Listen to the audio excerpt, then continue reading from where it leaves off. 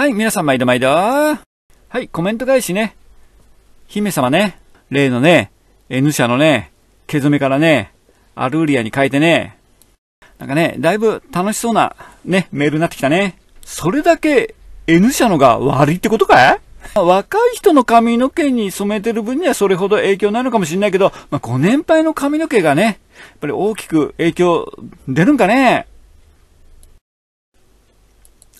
今日はバサバサになった2ヶ月前の白髪染めのリタッチに、まあ、トゥールブラウンの7で毛先まで、まあ、染めたということだね。お客様もね、色も気に入っていただけたようだし、ツヤ感アップ。N 社じゃ、とてもじゃないけど毛先まで塗布するなんてできなかった。そんなに悪いのかって言いたくなっちゃうよね。まあ、発色を優先するかね、痛み、損傷をね、優先するかね。まあ、どちらかっていう感じになるよね。その、会社のね、考え方かな。N 社の研究開発の人が若いんじゃない？若いからやっぱり色艶だろうってね、染まってなんぼだろうっていうかね、染めておしゃれするんだから、傷んで当然だろうみたいな考えなんかもしれないね。まあ、ロレアルは、やっぱり染めて傷むのはもうしょうがねえと思ってるんだろうけど、なるべく抑えようとしてんのかなギリギリまで、もう最低限色が出れば OK みたいな感じでね。だからトゥールブランの7で染めたっていうことだけど、2ヶ月おきでトゥールブランの7、白髪が結構少なめの人なのかな少なければトゥールブランの7でいいけどね、多いとね、延々とさ、毛先中間がさ、抜けてさ、なんか黄色っぽくなっちゃうんだよね、毛先がね。毛先中間がね。まあでも2ヶ月おきでミディアムぐらいの長さ、15センチぐらいの長さだったら、来るたび毛先まで染めちゃっても、パーマかけない分にはそれほど傷まないよね。今まで白髪染めが嫌いで怖くて心配だったけど、安心して使えそうです。いや、確かにね、まあ今はね、初めて使った時はね、いいんだよ。これ、その、染めたお客様が2ヶ月を戻ってきた時、どんな頭で戻ってくるかね？それ見てからだよね。あの、女の人とさ、男の人のさ、この白髪染めの出来上がり、まあ、2ヶ月後もひっくるめてね、見る目線が違うからね、やっぱり女の人ってね、艶とかね、手触りね、敏感に感じ取るからね。男はもう色見てね、ああ、白髪2センチ伸びたのね、ぐらいしか見てないからね。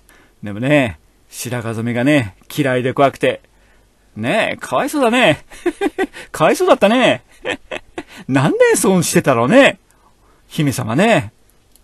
まあ、こういう問題もさ、結局ディーラーが絡むんだよね。ディーラーがさ、N 社しか持ってないとさ、N 社いいですよ。よそじゃそんなこと言ってないっすよ。綺麗に染まってますよ。とかね。そんなことしか言わないからね、ディーラーはね。で、よそのね、なんか楽しい情報は絶対入れさせないからね、聞かせないからね。美容師さんがね、違うメーカーのね、お薬買ったらね、売り上げなくなっちゃうからね。そこなのよ、ディーラーのもさ、この、かったるい問題っつうのはね。まあ本当にね、ディーラーは一社との付き合いってのは危険だね。数社付き合って、もう、しょうがないよね。いい、その中でいい商品を取る。いい商品じゃないものは取らないまあこっちもね、仕事だからね、染まらねえ毛染めさ、ね、売りつけられてそんなんで染めてなんかいらんないからね。まあディーラーはさ、美容師さんと仲良くして嫌われないようにして、物を売り続けようっていうのが本音じゃないの？まあ今のね、美容業界取り巻くこの環境、まあディーラーがね、好きにさ、どこのメーカーの薬もさ、買えないっていうのが問題なんだよね。